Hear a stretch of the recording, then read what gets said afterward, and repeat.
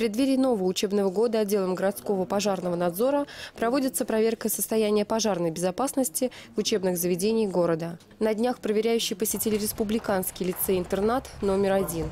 Главное, на что обращают внимание инспекторы – создание в помещениях условий для быстрого обнаружения очага возгорания и незамедлительной эвакуации.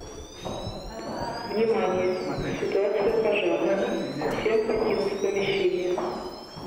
В исправном состоянии должны находиться огнетушители и пожарная система оповещения.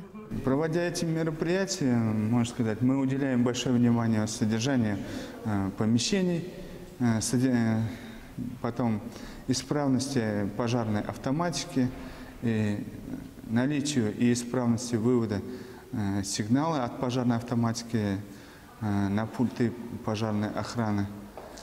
М, Также проверяем наличие и исправность э, э, первичных средств пожаротушения, внутреннего пожарного водопровода, а также э, проверяем а, знание э, основных требований пожарной безопасности персоналом этих учреждений. Контрольная подготовка образовательных учреждений к новому учебному году в части обеспечения пожарной безопасности будет продолжаться до 1 сентября текущего года. Юлия Чубарова, Ильнур Аминов. Новости.